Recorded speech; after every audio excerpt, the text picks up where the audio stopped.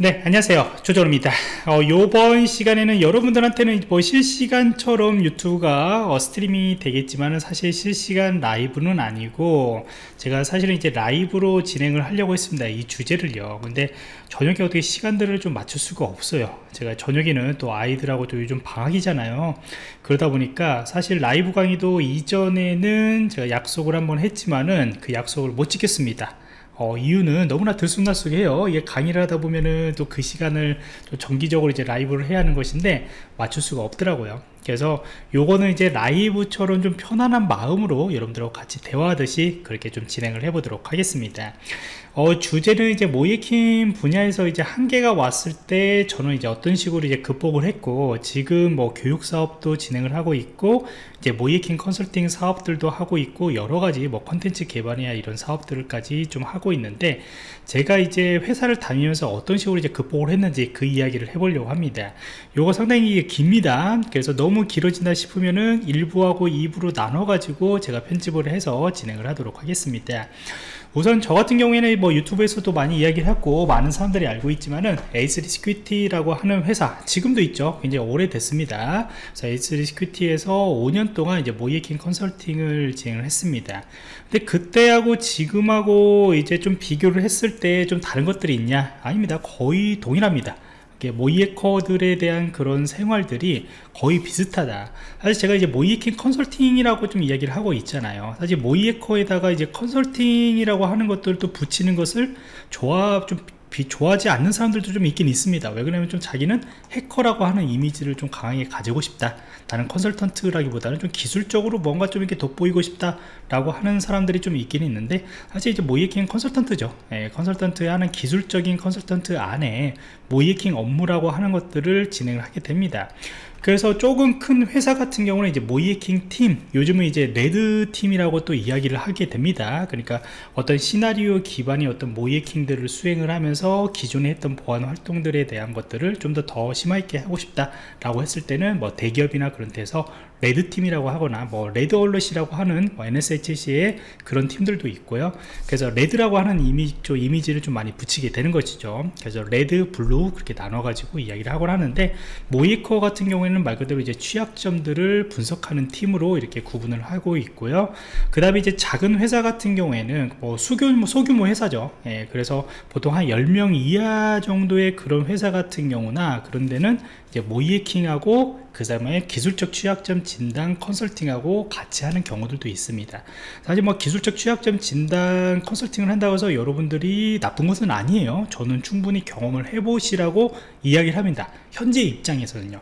근데 예전 같은 경우에는 이제 모이에커들한테 기술적 취약점 진단까지 이거를 시키면은 어 조금 뭔가 이상해 보인다. 이렇게 이야기하는 사람들도 있긴 있어요. 근데 어차피 하나의 보안 활동이거든요. 그래서 우리가 모이에킹이라고 하는 이제 분야 같은 경우에는 보통 이제 모이에킹 이제 블랙박싱 형태로 이제 많이 진행을 하죠. 그러니까 우리가 아무것도 없는 상태에서 이제 진행을 하게 되는 경우들이죠. 도메인 하나만 딱 주고 너 해킹해 라고 하는 것들이 거의 다 블랙박스 형태로 이제 진행하게 되는 거고 그 다음에 취약점 아까도 이야기했듯이 기술적 취약점 분석이 인프라 진단이죠.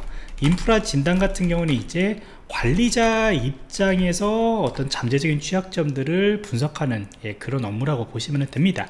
근데 두 개 다 분명히 필요합니다. 예, 두 개 다 필요하고요. 그 다음에 뒤에서도 이야기를 하겠지만은 너무나 이제 black boxing 형태의 그런 모의해킹 진단만 하다 보면은 인프라를 이해할 수 있는 시간들이 많이 부족합니다. 여기서부터 이제 한계가 오기 시작할 겁니다. 그래서 우리가 이제 모의해킹이라고 하는 것들을 5년 동안 진행을 하면서 제가 항상 많은 이야기를 하죠. 웹 해킹 중심하고 이제 웹 모바일 현재는 이제 모바일이 해킹을 중심으로 많이 하고 있죠. 둘 다 one plus one이라고 한 것처럼 예, 세트로 하고 있습니다. 그래서 여러분들이 금융권에 대해서 모의해킹을 하게 되면은 금융권 웹 쪽, 그 다음에 금융권 모바일 쪽, 그 다음에 이제 보안 솔루션이나 그런 것들을 진단하게 되는 건데 요거는 제가 모의해킹 컨설턴트로 활동했을 때하고 뭐 크게 벗어나지는 않습니다 물론 이제 서비스들하고 그 다음에 위에 올라가는 이제 어플리케이션들이 굉장히 다양해졌죠 예전, 예전 같은 경우에는 이제 뭐 Python으로 웹 서비스를 만든다? 라고 했을 때는 그냥 question이었었거든요. 거의 그런 경우는 많이 없었죠. 근데 지금은 이제 Python의 Django 같은 경우나 아니면 이제 플라스크 같은 경우나 이런 Python을 기반으로 한 웹 어플리케이션도 많이 이제 오고 있고요. 그 다음에 여러분들 Node.js 같은 경우나 이러한 어, 서버 쪽하고 웹쪽 같이 front하고 backend하고 같이 할 수 있는 이런 framework나 그런 것들로 구성된 사례들도 많이 있어요. 그리고 이제 모바일로 여러분들이 앱을 이게 웹보다는 지금 현재 모바일이죠. 그래서 모바일 쪽에 중점적으로 이제 서비스들을 구축을 하다 보니까 그쪽의 특징들을 가지고 하는 그런 서비스들이 많이 어, 올라가 비율적으로 많아질 뿐이지 접근하는 방식들은 거의 다 좀 비슷했어요. 하는 업무들은 웹해킹하고 모바일 해킹이라는 것과 보안 솔루션에서 그렇게 크게 벗어나지는 않았다. 물론 이제 요런 요즘 트렌드 같은 경우에는 이제 뭐 IoT 같은 경우도 있고 자율주행 같은 경우도 있고 특히 이제 어, 우리가 블록체인 같은 경우는 이제 코인 거래소나 그런 거 있다 보니까 이쪽으로도 많이 좀 가고 있죠 사실이요. 그래서 좀 먼저 가신, 먼저 이렇게 앞서 가신 분들 같은 경우는 최근에 이제 블록체인 쪽에 관련된 이제 bug hunting이나 그런 것들로 또, 또 사업화도 시키고 여러 가지 이제 참여들을 하고 있습니다. 그래서 기존에 했던 모의해커 인력들이 블록체인 쪽으로도 많이 갔어요. 자율주행 쪽으로는 우리 국내 같은 뭐 현대 오토에버 중심으로 좀 많이 이렇게 하고 있죠. 그래서 이런 쪽으로도 많이 좀 진행을 하고 있다 라고 보시면 됩니다. 그래서 현재 여러분들이 이제 모이킹을 하다 보면은 사실 5년 동안에 한 회사에 또 있는 분들은 많지 않아요 이게 예, 이제 조금 좀 걱정되는 부분들도 있죠. 근데 제가 이제 대기업 쪽에서 이제 뭔가 지원도 많이 해준다거나 아니면은 정말 나름 모이에킹 쪽으로 뭔가 관리 쪽까지 가는 케이스를 만들고 싶다라고 했을 때는 쭉 갑니다. 그러니까 나는 이제 모이에킹 컨설팅 부서에 뭐 이렇게 어, 책임을 질 수 있는 팀장님이나 나중에 이제 부장까지 이런 식으로 좀 이렇게 커리어를 쌓고 싶다라고 하신 분들은 물론 이제 오래 합니다. 그렇게 오래 하기도 하고요. 나중에 이제 컨설팅을 떠났다가 이제 대기업 쪽에서 충분히 이제 또 대기업 경험을 쌓고 다시 또 컨설턴트로 오시는 분들도 많이 있습니다. 상당히 많아요 그 부분들 상당히 많습니다 그래서 그런 분들 위에 그냥 5년 동안 한 회사에서 나는 모이킹 기술적으로 쭉 간다라고 하는 분들이 평균적으로 많지는 않다 왜 그러냐면은 이제 우리가 모이에커라고 했을 때 처음에 이제 학생들 입장에서는 뭔가 기술적으로 되게 많이 이제 업무 시간에도 많이 하고 막 그런 것들이 이제 재미가 있기 때문에 모이에커라고 하는 회사를 그 직업을 선택을 한 거거든요. 근데 여러분들이 이제 5년 정도 되면은 모이에커들 같은 경우는 이제 보통 이제 팀장급까지 갈 수가 있습니다 보통 웬만큼 작은 프로젝트는 프로젝트 매니저를 할 수가 있고요. 그 다음에 이제 큰 프로젝트 같은 경우에도 할 수 있는 기회가 바로 5년 내에 이제 오게 돼요. 근데 이제 프로젝트 매니저를 하게 되면은 여러분들이 이제 관리라고 보시면 돼요. 그때부터요. 그래서 기술적인 부분보다도 이제 관리 쪽 파트로 점점 점점 들어가는 거죠. 이게 모의해킹이라고 하는 비즈니스에서 뭐 완전히 관리 컨설턴트로 가는 건 아닌데 그 안에서도 이제 인력 관리하고 일정 관리나 그런 모이킹 큰 프로젝트 뭐 1년 단위나 6개월 단위 이런 식으로 이제 점점 커지는 거거든요. 그러면은 실제 자기는 이제 어 이렇게 막 진단하고 취약점을 분석하고 그런 시간이 있는 것이 아니고 말 그대로 인력들이 잘하고 있는지 그 다음에 인력들이 좀 뭐 이렇게 어려운 부분들이 있으면은 이게 찝어주는 역할들을 많이 한다 라고 보시면 됩니다. 그래서 저는 현재 이제 어, 한 회사의 이제 대표를 맡고 있고 모이에킹 사업들을 하고 있기 때문에 실제 저도 이제 QA로 이게 한마디로 이제 품질 관리죠 어떻게 보면요. 모이에킹의 사업들을 잘 하고 있는가 그 다음에 보고서 품질들은 어떻게 잘 나오고 있는가 이런 것들을 관리하게 돼요 그래서 저도 뭐 실무적으로 막 모이킹들을 막 이렇게 수행하고 있지는 않고 저 인원들이 한 것들을 계속적으로 리뷰하면서 이렇게 사업들을 하고 있습니다. 그래서 이런 역할들을 하게 돼요. 그러다 보니까 자기가 이런 관리 쪽이나 그런 거에 자기 안 맞다. 그러니까 나는 인력들을 관리할 관리하는 거에 대해서 별로 그런 재미도 못 느끼고 그 다음에 이제 어려움을 느끼는 거죠. 재미가 못 느낀다는 것은 어려움이 있다는 거죠. 그 다음에 어, 내가 이제 그런 고객들하고 커뮤니케이션도 해야 하는 것이고 그 다음에 고객들에 대한 요구사항들도 받아가지고 그 다음 회사한테 전달을 해가지고 뭔가 이제 사업들을 이제 이끌어 나가야 하는 것인데 그런 것들에 대해서 어려움들을 많이 느끼게 돼요 음, 그러다 보니까 이제 5년차 정도 아니고 한 보통 한 3년차 정도만 하더라도 웬만큼 이런 것들을 많이 경험을 하게 되면은 사실 이제 대기업 쪽이나 아니면은 이제 금융권 쪽이나 그런 쪽으로 많이 빠지게 됩니다.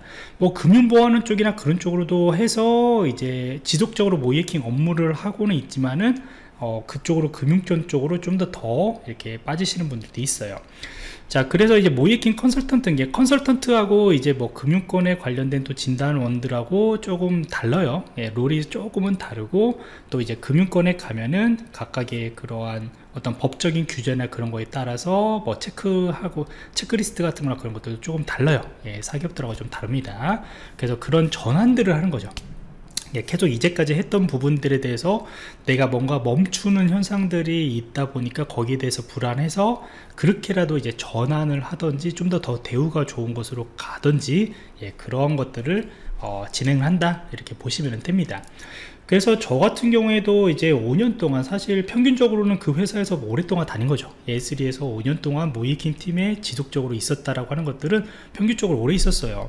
그래서 저도 이제 뭐 있다 보니까 이런 것들을 다 경험을 했거든요. 여기다가 이제 소스코드 진단 같은 경우나 아니면은 이제 게임 해킹 같은 경우나 이런 여러 가지들을 그때 당시에는 IoT나 그런 것들 없었기 때문에 이런 것들을 이제 경험을 하게 된 거예요 그런 게 저도 이제 정체가 좀 있다라고 느껴진 때가 바로 요 정도라고 보시면 됩니다.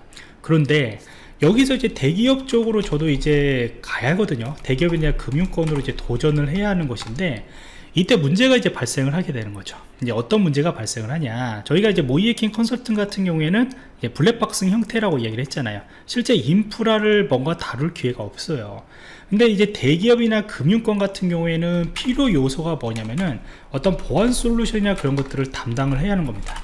예, 담당을 해야 하는 거고 침해 사고 분석이나 그런 것들 대응 업무들도 여기에 포함이 됩니다.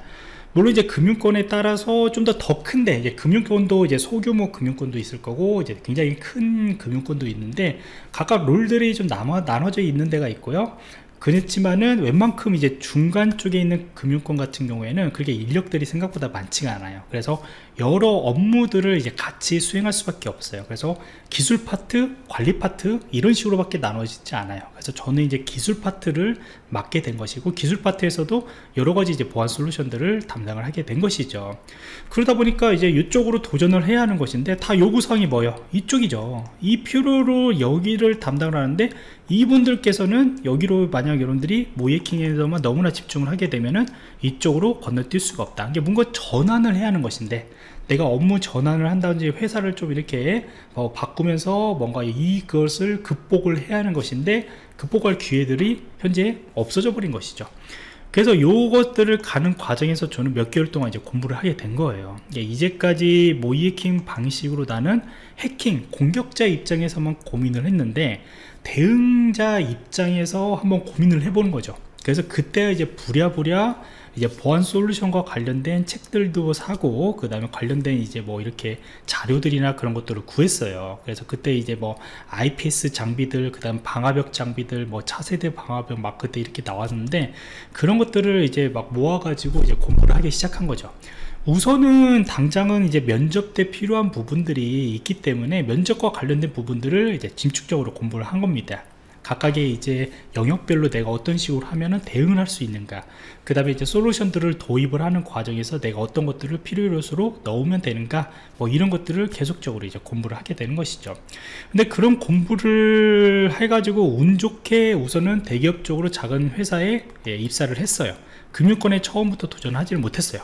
왜 그러냐면은 뭐 학력도 많이 봤었던 상황들이었었고 TO가 없어요. 네, 금융권이 생각보다 TO가 많지는 않습니다. 지금은 좀 그나마 많이 필요하기 때문에 뽑고 있지만은 어, 제가 했을 때는 정말로 한 5년에 한 명, 어, 3년에 한 명, 뭐 이런 식으로 이제 뽑았기 때문에 실제 많이 있지는 않았어요.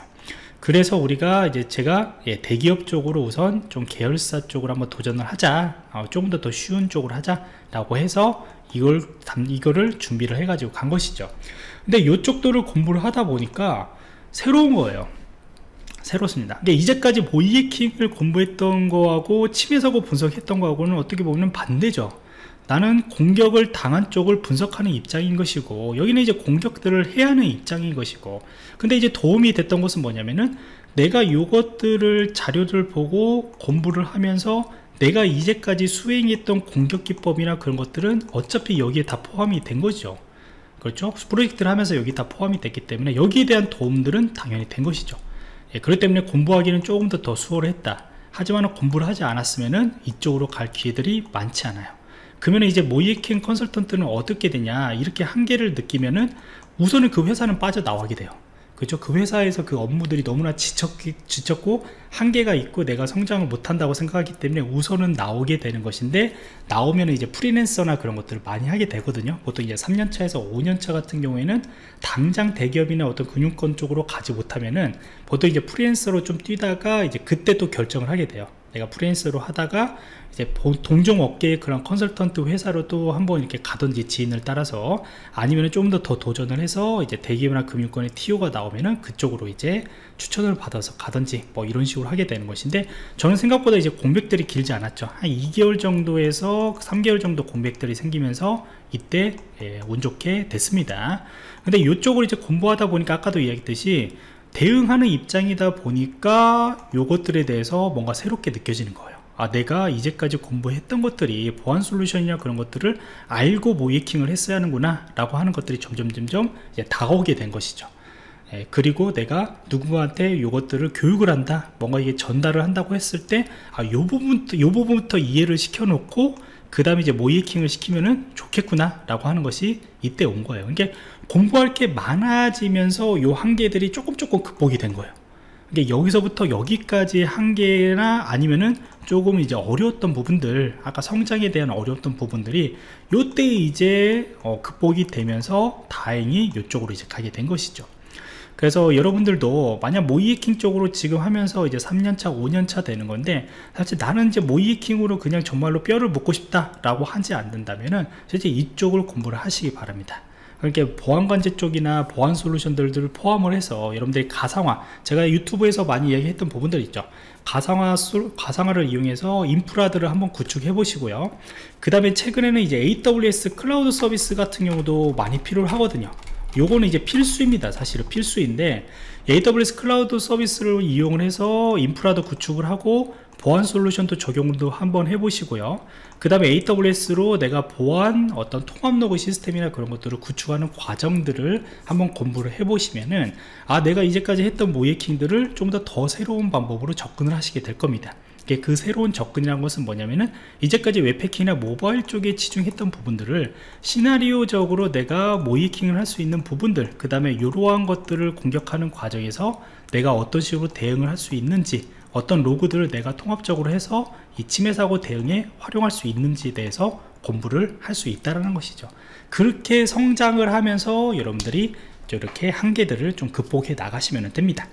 자 그래서 시간이 좀 길어졌기 때문에 제가 또 2부 좀 이어가지고 어, 뒤쪽에 그별 이제 금융권이나 그런 것들 다니고 그 다음에 현재 사업들을 하면서 또 어떤 한계들을 예, 이렇게 극복을 했는지 이 부분에 대해서 또 같이 나눔을 하도록 하겠습니다